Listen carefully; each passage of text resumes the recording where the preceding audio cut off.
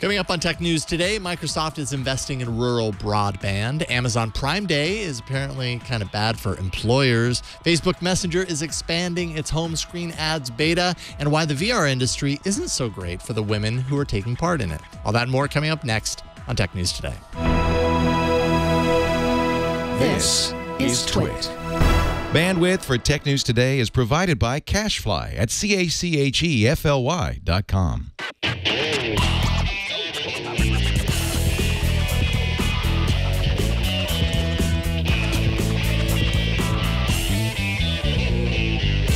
This is Tech News Today, episode 1807, recorded Tuesday, July 11th, 2017. This episode of Tech News Today is brought to you by Rocket Mortgage by Quicken Loans. Home plays such a big role in your life. That's why Quicken Loans created Rocket Mortgage. It lets you apply simply and understand the entire mortgage process fully so you can be confident that you're getting the right mortgage for you. Get started at rocketmortgage.com slash TNT. And by TrackR, a coin-sized tracking device that pairs with your smartphone and keeps you from losing your most valued possessions. Visit thetrackr.com right now and enter promo code TNT to save 20% off any order. Welcome to Tech News Today. This is the show where we tell you all the technology news that you need to know in order to win arguments with your partner or your friends or your neighbors or anyone. You're Megan. I'm Megan Morrone. I'm Jason Howell. I have to imagine. Sorry, I never know what to do there. Do I do I say your name for you, or you know what? They know who we are. They know who we are by mm-hmm. now, right? I'm Jason Howell. There we go. I'm Megan Morrone. I'm happy we got that straight. Microsoft is looking to improve broadband internet connectivity in rural America with a $10 billion pilot program called the Rural Airband Initiative that should reach 23.4 million Americans who don't have access to high speed internet. Microsoft is proposing a five year program funded by federal and state grants, corporate investment, and of course its own funding, which uh, Microsoft President Brad Smith said was, quote, very substantial so we'll take his word for it. I imagine that it probably is. Critical to the plan is the utilization of TV white space technology, of which Microsoft actually owns 39 patents, uh, that connects to a database to determine what spectrum in a given area is unused. And then that unused frequency would be used to transmit broadband data to rural customers. So kind of broadening, kind of closing, yeah, not broadening, closing the gap of people who are so far out in these rural areas throughout the US that they're disconnected from high speed internet. And as we know, more and more nowadays, if you don't have that connection, I mean, that, that sets you back in a number of ways. So this is uh, about bridging the gap. Yeah, I mean, I've, I talked to Tony Romm from Recode about this a little bit yesterday. He's done a lot of research into um, into the, the history of connecting rural areas, and this has been a problem since the Clinton administration. You know, and um, there's a lot been a lot of flawed government the uh, government programs. There was rust the Rural Utilities uh, system, I think, that was just full of problems. And uh, and and so you know, Trump has said like that this is uh, this is important to him. He said he wants to connect people in rural areas, but he hasn't given any specifics on how he's going to do that. So I think it's awesome that Microsoft would put money towards this. I hope Google does. I I, I hope that Facebook does, and anyone else, Apple, anyone else who has money, um, because this is really important. Um, and and I don't think it's going to be something that is really solved uh, by government funding alone. I mean, even Ajit Yeah. Pai, who is now anyone who loves net neutrality, it's you know he's everyone's worst enemy. But he really also believes in expanding into rural areas, expanding internet access into rural areas, uh, but doesn't like the sort of heavy-handed approach that's been taken in the past. Right. Yeah. In fact, FCC Chairman Ajit Pai uh, went to Southern Virginia to actually see the pilot program of this in action. So there's already, you know, a, a decent amount of involvement and interest uh, on the government side. Uh, it'll be running in 12 states by next year. Microsoft's going to partner with ISPs to make it happen. Obviously, they would have to.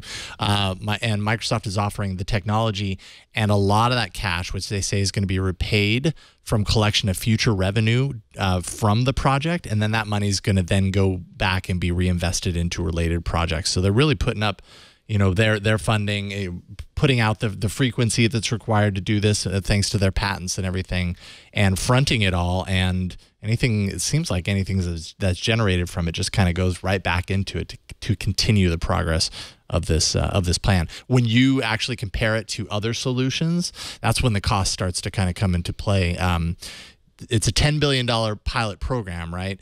Compare that to a 4G solution of similar kind of scope. That would cost somewhere between 15 to 25 billion. Fiber, laying all the foundations and, and the infrastructure for fiber would cost anywhere between 45 to 65 billion by comparison. So this seems, uh, you know, you're just taking up this unused spectrum and putting it to work essentially. Yeah, I mean that's great because I mean Google Fiber was sort of Google's intention of doing Right. this as well, and it, we saw how well that worked out. Not well at all. Because it costs a lot to lay that fiber, Right. no matter how you slice it. Yeah. So yeah, so using this mysterious white space that's um, I guess it's I don't know 600 megahertz frequency, uh, I. I it sounds great. It- Mm-hmm. It's magic and mystery to me how that would work, but it would be wonderful. The other thing um, in my interview with Tony Romm on triangulation that he brought up, which is a good point, like I was talking about uh, rural access being like part of the, you know, that this was what was causing the digital divide, and he said, you know, let's not forget that it's it's uh, inner cities also have similar problems, not the Oh, yeah. same exact problem, but like you know, devices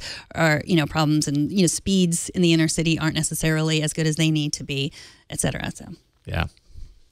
Unless your job, like ours, is to talk about Prime Day, every minute you spend at work talking about Prime Day or searching for deals is one fewer, fewer minute of work that you're doing for your boss. And according to one CNBC analyst, Amazon's Prime Day could lead to $10 billion in lost productivity.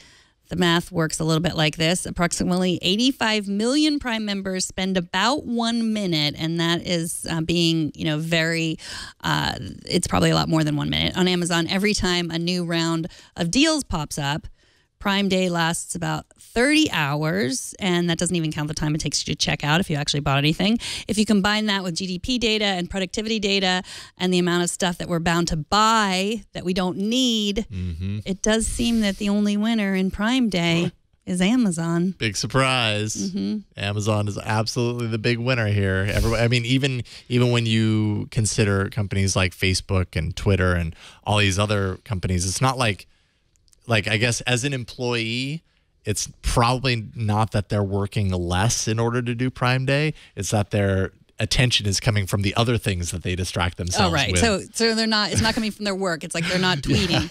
yes, exactly. So Twitter and Facebook lose, Amazon wins. No matter, yeah, no matter what, Amazon's pretty happy, uh, and it's why Amazon created this like fake holiday and continues to do it third third year in a row because it's actually really really successful. They're they're reaching the right people at the right time. Uh, to spend some money and filling in a gap in their sales schedule. I imagine during the summer at this time, they needed a lift. This is one way to do it, and they're getting it. I can't wait until we start decorating our houses for Prime Day, like with lights or like bo- boxes and masking tape or something. Santa Claus comes and instead of wearing a big jacket, he's like wearing a, a bikini or something. Yeah. Like a like bikini briefs. Yes. Yeah. He's straight from the beach. Yeah, yeah, or yeah, well, like um, I know little lights with tiny Amazon wands on them that's constantly scanning everything all the What a time. joyous holiday Yeah. we're, we're creating here. Put a Yule log on your Amazon show. Uh, I did not buy anything on Prime No. Day. I mean, it's not over if you're listening to this live. Uh, I did not buy anything. I did put a few things into my shopping cart, which I didn't buy, which sometimes serves. That's that's all I need. Just sticking some things in my shopping cart, and not yeah, but you them. you just gave Amazon the gift of data about you. I did. you you It's gave true. them the gift of, of understanding your intention. Yeah, that was the first. can- That was the only data I gave them.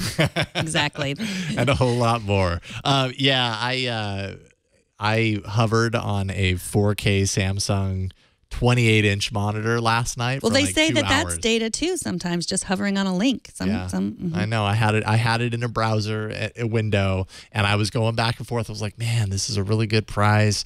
I could totally do this." And then finally, I just was like, "You know what? I don't need this. Mm-hmm. Like, why would I get this? I do not need this monitor right now. Close the window." And I haven't back been back to Prime Day since. So yeah. I had this evil thought, like that your regular TV that's old is gonna like break tomorrow or something. Oh, it's not the TV. Oh, we sorry. need a new TV. No, no, no, um, no question. What was there. it? A Samsung? It was a, a monitor for Oh, a my, monitor. my computer, which I I don't need that. No. So I didn't. That's my lesson to you. If you don't need it, don't. Facebook Messenger is about to connect its users with businesses as the company readies a worldwide rollout of ads in the Messenger chat app. Facebook has been testing the feature in a beta locked to Thailand and Australia since uh, January, and uh, the ads beta is expected to roll out to all in the coming weeks. They wouldn't get really more specific than that, but you'll probably see it soon. Those ads will begin to appear in the Home tab called out with a little sponsored label above it. So you'll have that as an indicator. Of course, the, the large size image that's attached to it will be pretty obvious as well. And they say the ads will be targeted to the specific user. Um, from what I could tell, that targeting doesn't necessarily include any of the contents of the messages that you have hanging out in your in your home screen there, but it would be tied into like any of the the targeted information that also follows you on places like Facebook and stuff like that. Yeah, I mean, ads are a necessary evil. Nobody likes them. It's true, um, but they they we have to have them. So I feel like I'm I'm I'm learning to love them, and um, and there's something about the click to messenger.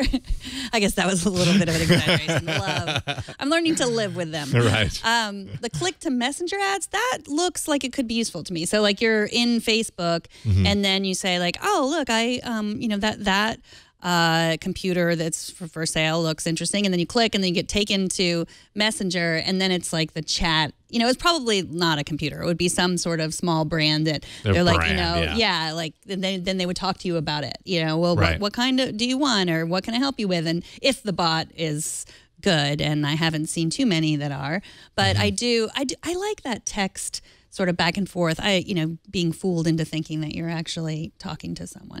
Well, and that, you know, in, in that way, that's kind of the older model of mm-hmm. how Facebook has been integrating. Right, ads and sponsorship into Messenger. That opens up the conversation. Then from that point forward, they could spam you with ads or, or whatever Yeah. because they've already got the conversation going.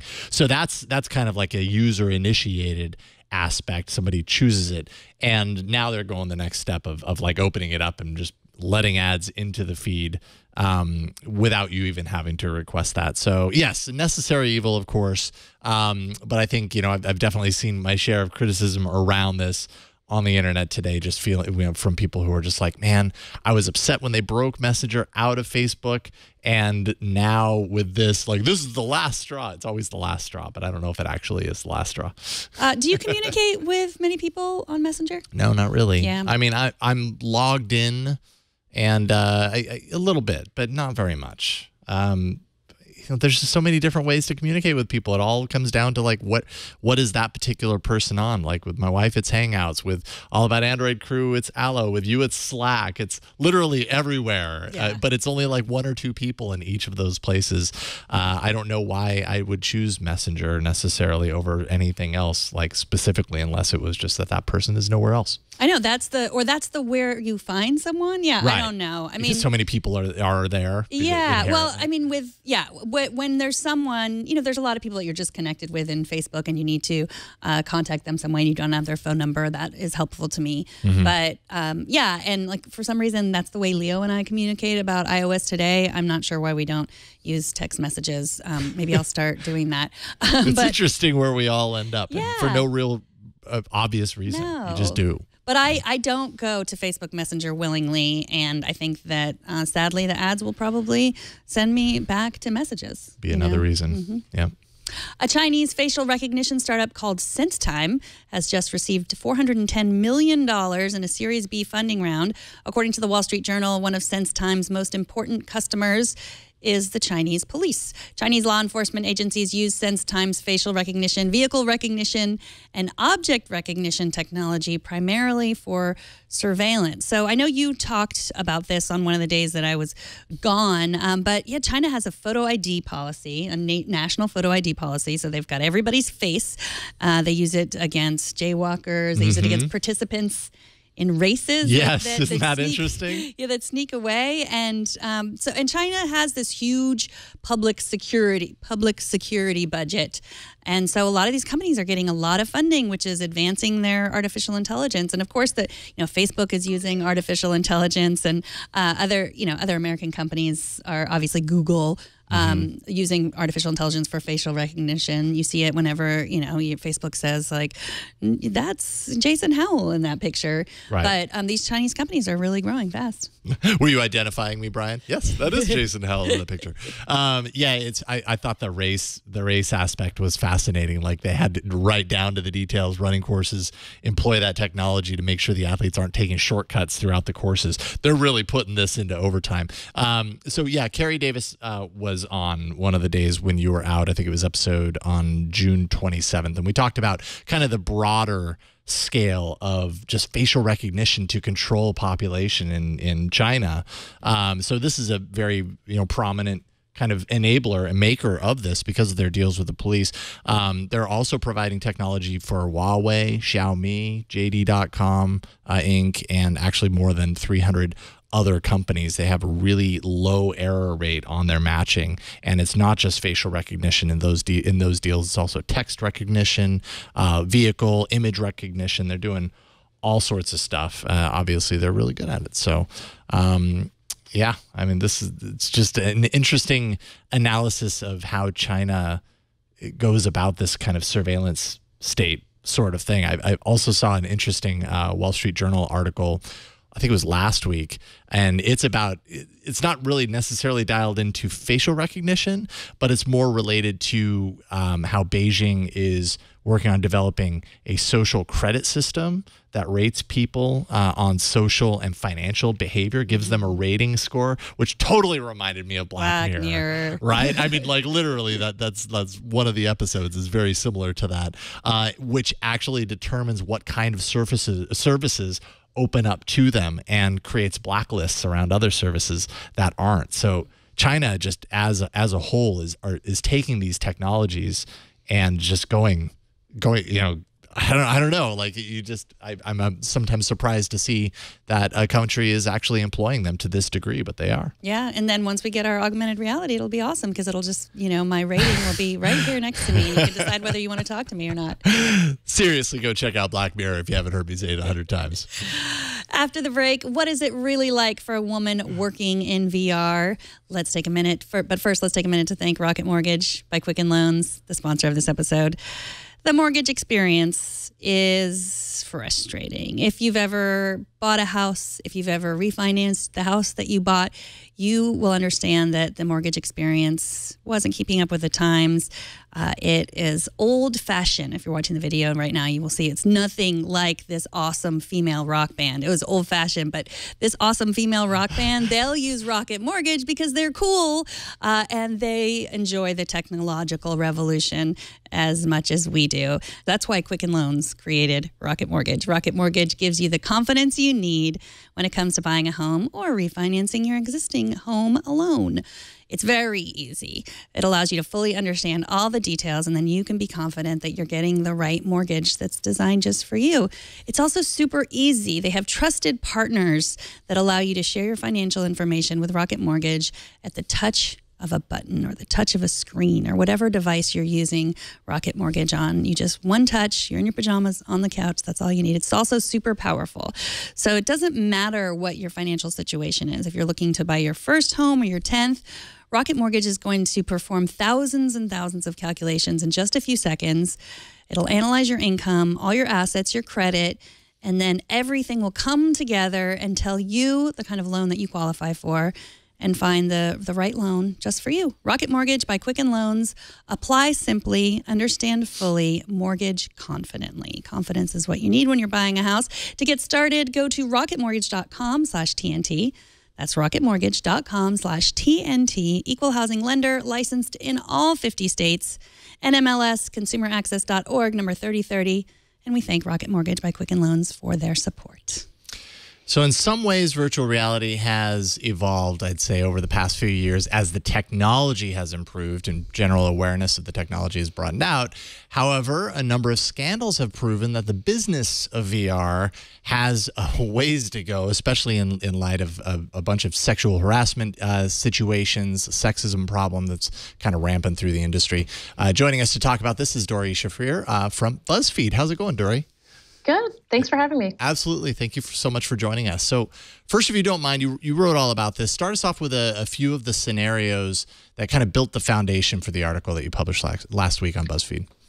Yeah. So, the the biggest news peg was the sexual harassment lawsuit that was filed against Upload um, in May by their uh, former a former a woman who used to work for them named Elizabeth Scott, um, and she alleged various sexual harassment um, and wrongful termination um, against them. And why? Because um, I know up, Upload VR was definitely very and has been very respected in the in the virtual reality industry. Um, yeah. Ex- explain why that why those allegations involving Upload VR specifically was such a shock to the VR community, and I, I suppose in combination with everything else that's been going on. Yeah, so Upload was kind of a linchpin, or is kind of a linchpin of the VR community. They have a lot of classes, they host a ton of events.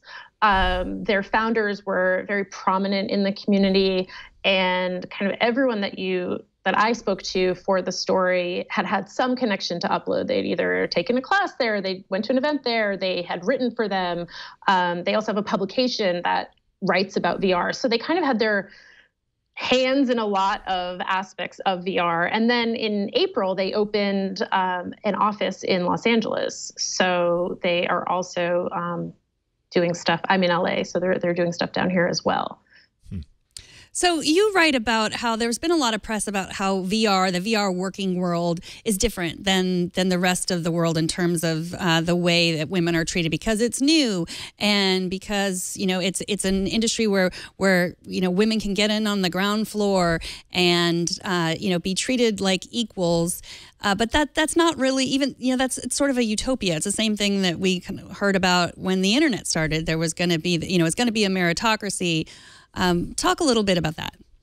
Yeah. So, you know, I think there there was a lot of hope that VR was going to be the part of tech that was going to be different. There was a big story in New York Magazine in September, um, and the headline was something like "Women are dominating VR."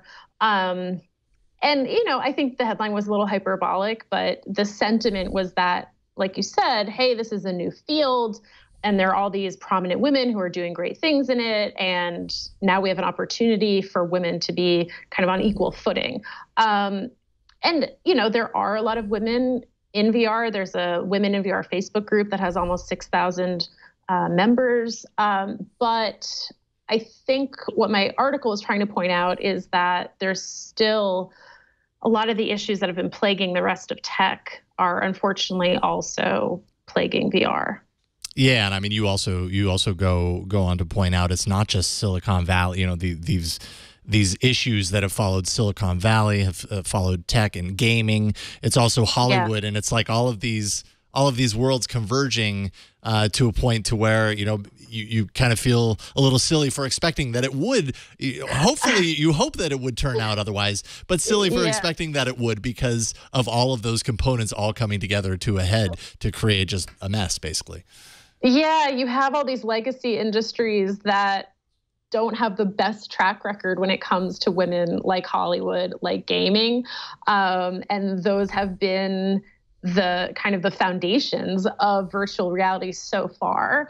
Um, so yeah, so un- unfortunately, I think we're seeing some of the cracks in that foundation right now. Well, it seems like Upload VR was really dominated by men. It was mo- mostly men. That you know, you write that like the that part of the accusations are that the women were treated like mommies. You have to clean up after us, et cetera, et cetera. Yep. Did you talk? Are are there any spaces? Did you talk to any women who are working on their own thing in VR, or maybe you know surrounding themselves by around surrounding themselves with the people that they know the best, which might also be women?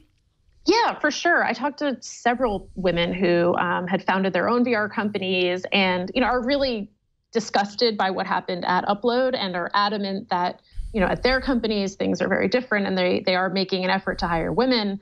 Um, but I do think that this was a wake up call for VR in general, and hopefully you know hopefully things will change. Um, but yeah, I mean th- there there are a lot of women who are doing really cool things in VR. I don't want to I don't want to you know downplay that at all. Um, but upload, like I said, really was a linchpin of the community, and so I think that made people especially shocked um, when these allegations came out.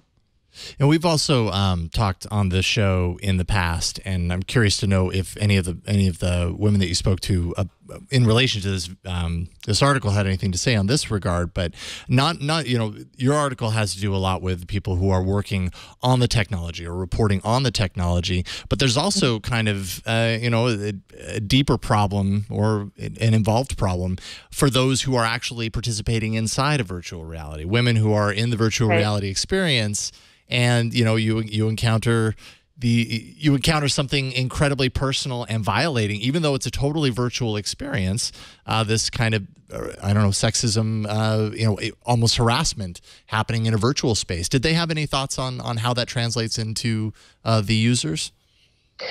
Yeah, there was um, kind of a famous infamous situation a few months ago where a woman who works for um, a gaming startup in Austin was sexually harassed in a VR experience. Um, and that led to some kind of calls to action um, among creators to try to create safer spaces for women within VR.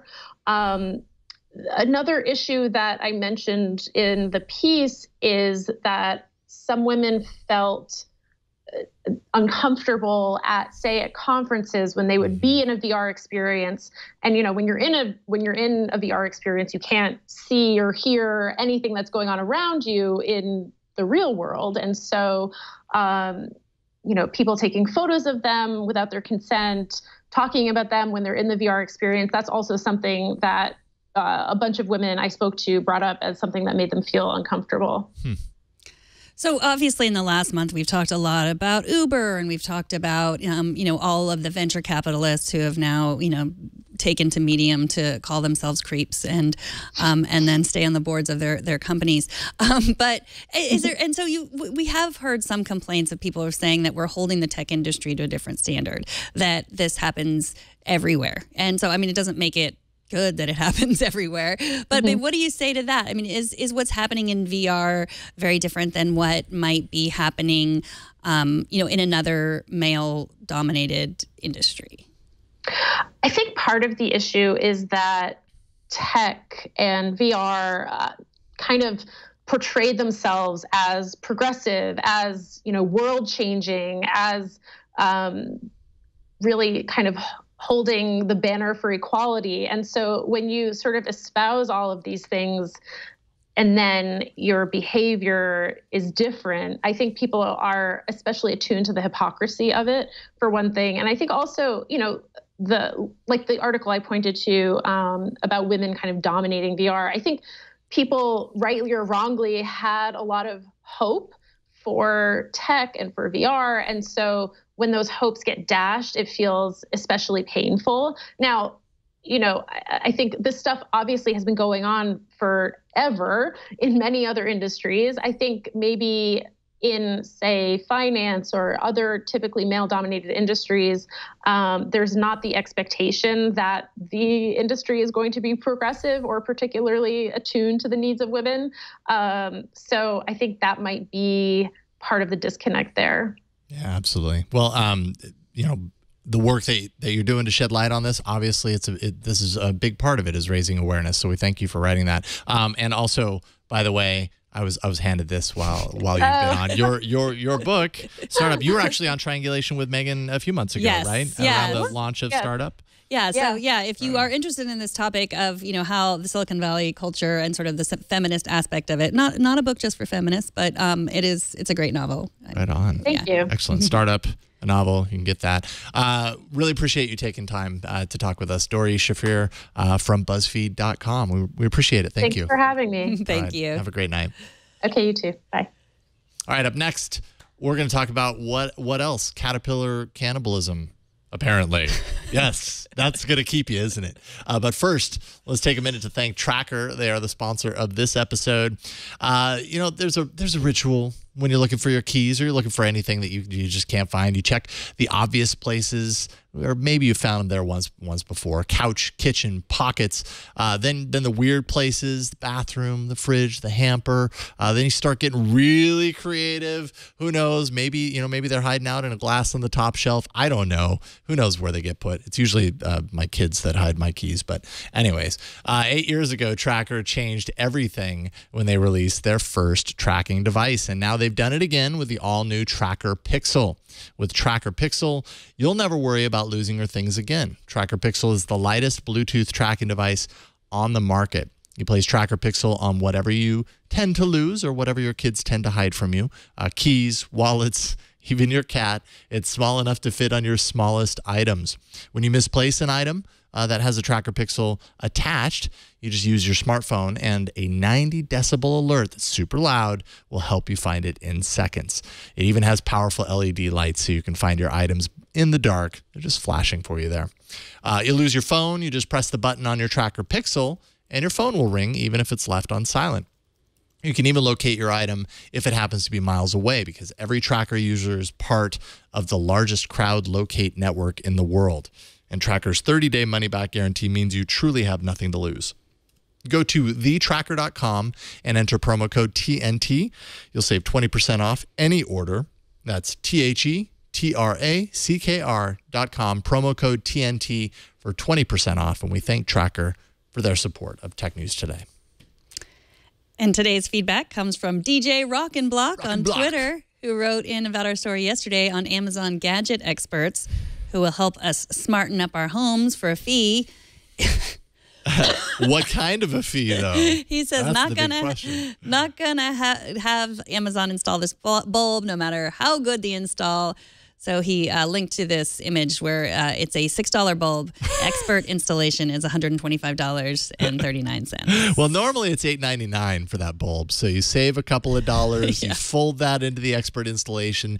Really, your installation is one hundred one hundred twenty three dollars. Yeah. So I think you're kind of getting a deal. I cannot believe that. I mean, that is just wide open for how many people it takes to screw in a light bulb joke. So please, Yes, right. Yeah, totally is.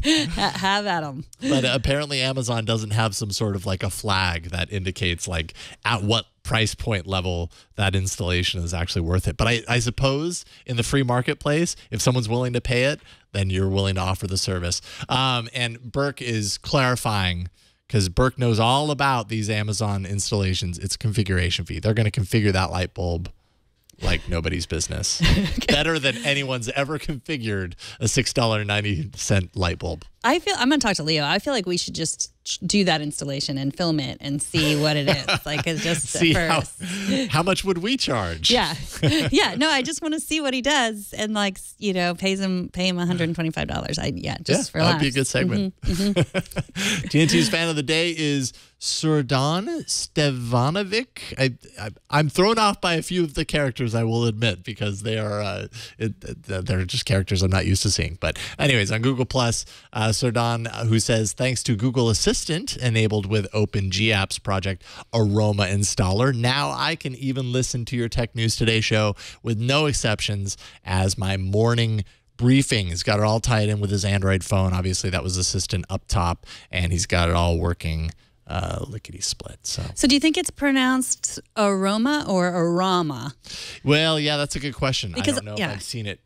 I've. I've, I've not gotten into conversations with someone about this particular thing to know whether they call it aroma or rama, but it is based around ROMs, so that Right. would make a lot of sense. Well, because when I first read it, I was like, aroma installer. Yeah. Like he's listening to us on something that like is one of those Internet of Things, like smell things.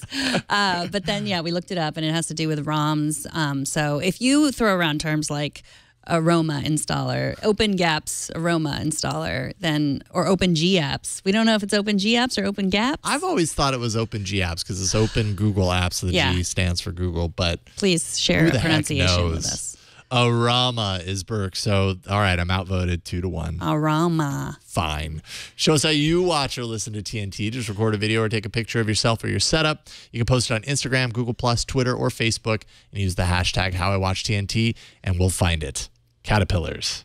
Yes. In my internet wanderings today, I came upon an article on The Verge that pointed me to a paper published this week in the Journal of Nature, Ecology, and Evolution. The paper was called Induced Defenses in Plants Reduce herbivory, herbivory by increasing cannibalism. In other words, it's a study about how bad a tomato has to taste for a caterpillar to turn to its caterpillar best friend and eat it. so, uh, in order to protect tomato plants from pests, some ti- scientists devised a way to create tomatoes that would produce defensive chemicals like methyl jasmonate. Uh, not only will My it deter, chemical. I know I love methyl jasmonate. It'll deter caterpillars, but it also alerts surrounding plants to the danger so they can start secreting the chemical themselves.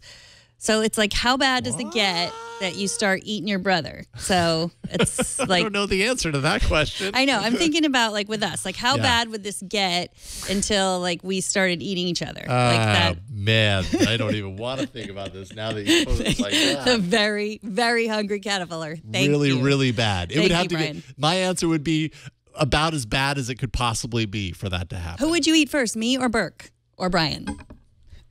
Man, I, I can't answer that. You, you're all delicious. Thanks. Thank you. Uh, this, so okay, so some more uh, science here uh, is that the the tomato plant has to start secreting the chemical before the caterpillar starts eating because once the caterpillar starts eating, it doesn't matter; it still tastes good. Okay.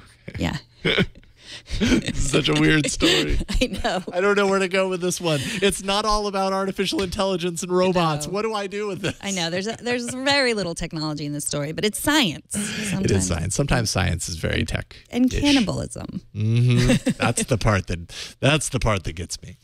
Um, I'm gonna just transition to the end of the show. then. Okay. Okay. Before you eat me, uh, TNT records live every Monday through Friday at 4 p.m. Pacific, 7 p.m. Eastern, 2300 UTC at twit.tv slash live. You can be part of the show by emailing us at tnt at twit.tv. Of course, you can leave us a short voicemail. Though you never do. But if you want to, 260 TNT show, and you can find us on Twitter. We're at Tech News Today TV. If you have some thoughts on cannibalism and caterpillars and tomatoes, please share them or share the stories. Uh, share your favorite stories at technewstoday.reddit.com on our subreddit or make comments on the stories that we post. Uh, you can also find all the ways to subscribe to our show at twit.tv slash TNT. And if you disagree that it's pronounced Arama, please tweet at me so that I can be so that we can prove Burke wrong because that's kind of a goal around here. I'm Yeah. at Megan Morrone. That's what we do around here. Mm-hmm. I'm at Jason Howell. Thanks to our technical director, Brian. It's nice to have you back. Uh, thanks to Burke for helping out in the studio. Thanks to Kevin for editing the show and for saving the day yesterday, Kevin. You know what we're talking about. And thanks to you for talking tech with us today. We'll see y'all tomorrow. Bye, everybody.